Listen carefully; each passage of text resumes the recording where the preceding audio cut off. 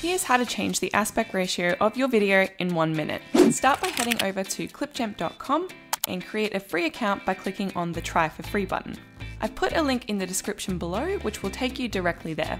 Once logged in, you'll be on the homepage, then head over here and click on the create a video button. You'll be taken into the editor where the aspect ratio of 16 by 9 will automatically be set. Now just upload your media by heading to the plus button, clicking on browse files, and then selecting the media you want and clicking on open. Your media will upload into your media library here, then simply drag and drop it into the timeline. And now you can see the editor has automatically updated my aspect ratio to a 9 by 16 because that was the size of the media that I added in. For this example, I'm creating an Instagram feed post, so a 9 by 16 is not the right fit. So to change the aspect ratio, all I need to do is head over here to the right, and then these options are going to appear.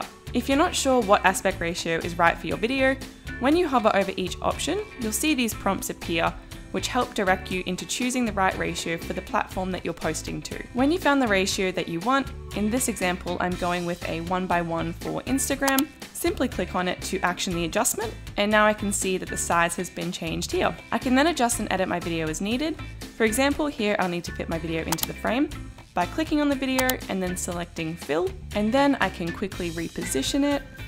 And now when I play that video back, I'm happy with the fit and the positioning and it's ready to export. So lastly, to export, head over here and click on export, then select the video quality, and when it's done, it automatically saves to my device, all ready for me to post. And that's how to change the aspect ratio of your video in one minute.